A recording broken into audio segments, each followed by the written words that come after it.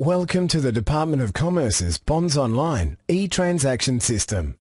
Your real estate agency now uses the e-transaction system to lodge, vary and dispose bonds at any time in a fast, easy and secure environment similar to online banking. This means that you no longer need to sign paper forms and it will be faster for you to get your bond money back at the end of the tenancy.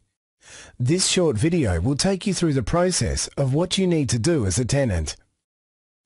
Once your real estate agent has entered your bond information into the system, an email will be sent to the email address you provided, asking you that you review and approve the lodgement transaction. As a tenant, this is your chance to check that your agent has your correct details and to set yourself up for a faster disposal. You will need to action the email as soon as possible ideally within 48 hours. If you do not approve the e-transaction within the first 48 hours, the bond administrator will still accept your bond money from your agent. However, you will not be able to request a change to the details they entered, and you will receive regular reminder emails and text messages until you do approve the transaction. The email you'll receive will look similar to this one.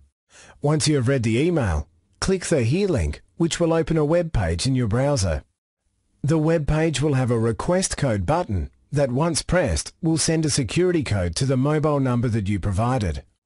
The code will only be active for 15 minutes before it expires, after which you can request a new code by repeating the same process. Once you have received the code, enter it into the space provided and click the Submit Code button. If you incorrectly enter the code three times, you'll be locked out of the system for one hour before you're able to try again. A new web page will open that lists all the details of the bond. Once you have read through the information, you will have three options. Approve details, request change, or come back later. If you agree that all the details are correct, select the Approve Details button.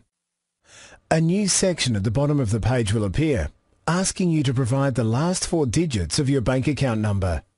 This step is not mandatory, however it is an extra security measure and will help speed up the process of getting your money back at the end of the tenancy. Once finished, select the Approve Details button again. A pop-up box will open, asking you to confirm that you want to approve the e-transaction. Select Yes. Another page will open indicating that the details have been successfully submitted to the bond administrator for approval. You will receive a final confirmation email once all tenants have approved the details of the lodgement. You will also be sent a record of payment once your bond money has been paid by your agent and lodgement of the bond is completed. Approving the details of a bond disposal. Once your tenancy has been finalised, your real estate agent will enter the details of your bond disposal into the e-transaction system.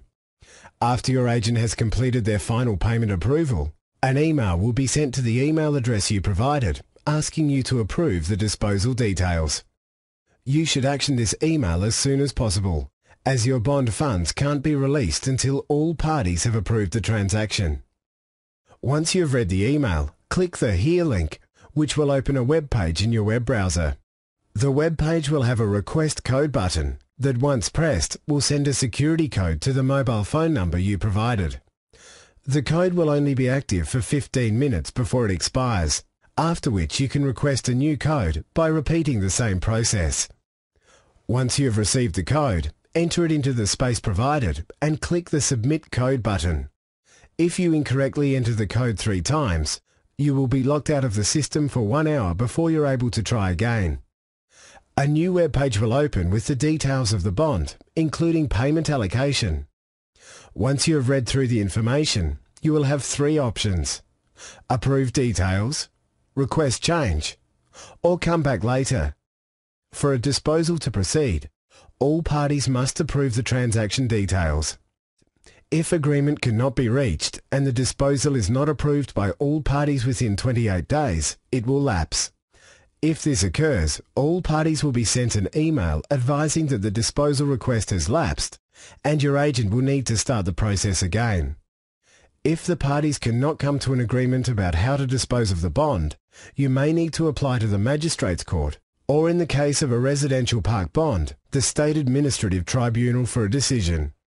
If you agree that all details are correct, select the Approve Details button. A new section at the bottom of the page will appear, requesting your bank account details and your new forwarding address.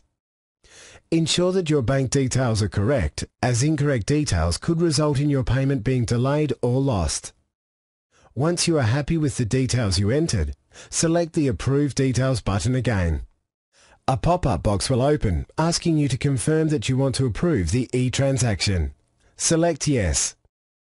Another page will open indicating that the details have been successfully submitted to the bond administrator for approval. Once all tenants have approved the disposal, you'll receive an email advising that the transaction has been sent to the bonds administrator for processing. If your mobile phone number and email address match those provided during your lodgement transaction, the disposal will be completed automatically and an EFT payment will be sent to your bank account. For more information about the Bonds Online e-transaction system, visit www.commerce.wa.gov.au forward slash bonds online.